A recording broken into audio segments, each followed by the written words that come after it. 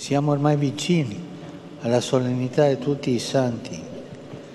Vi invito a vivere questa ricorrenza dell'anno liturgico nella quale la Chiesa ci vuole ricordare un aspetto della sua realtà, la gloria celeste dei fratelli che ci hanno preceduto nel cammino della vita e che ora nella visione del Padre vogliono essere in comunione con noi per aiutarci a raggiungere la meta che ci attende.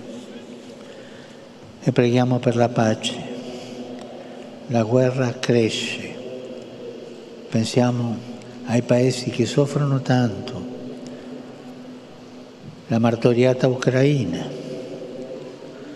la Palestina, Israele, il Myanmar, il Nord Kivu e tanti paesi che sono in guerra.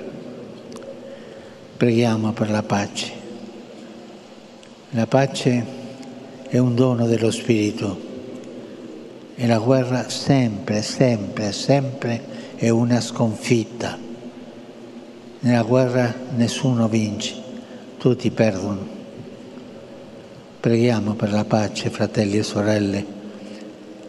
Ieri ho visto che sono state metragliati 150 persone innocenti. Cosa c'entrano la guerra i bambini, le famiglie? Sono le prime vittime. Preghiamo per la pace.